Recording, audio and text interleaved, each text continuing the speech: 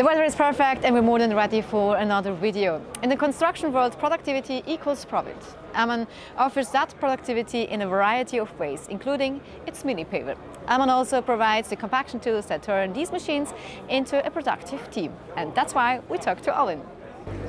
Alwin, let's talk first about our mini paver. What do you like most about it?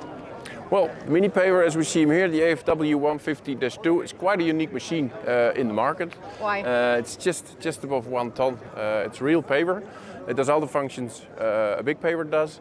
Um, and we have the possibility with this paver to pave from 25 centimeters up to 1 meter 65 if we mount the mechanical extensions to the range, screeds. yeah? Yes, which give you a very big range uh, to work with the paver. Yes. And I have heard that an operator can save a lot of time. We have uh, crews and, and customers who save more than half of the time uh, compared to normal handwork.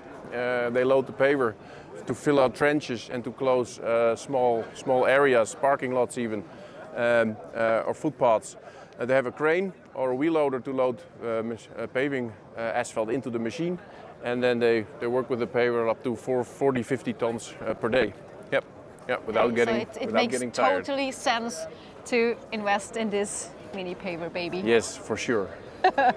Alwin, let's talk about the compaction tools that works behind the machines. Okay, well, um, what you see here, we have the ARX 16 Combi, which is a one and a half tons combi machine, um, which is a very good machine to use behind our mini paver, what we saw before.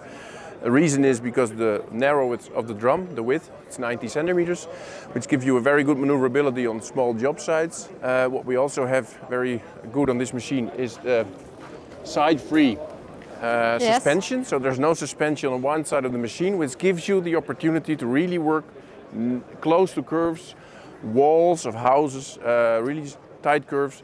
So you don't have to uh, think about think about uh, um, the iron sticking out of the drum, so to say, to damage the walls. And if it gets really narrow, we can use Yeah, here this little one. the APF, the forward moving plate, uh, 1250, 50 centimeters wide, uh, with a sprinkling system, water tank on top, which uh, prevents you from sticking the asphalt uh, on the bottom plate. And there you can really uh, work in narrow, narrow areas. Yes. Alwin, thank you so much for You're this welcome. interesting insights. There we have it, a productive gym from start to finish.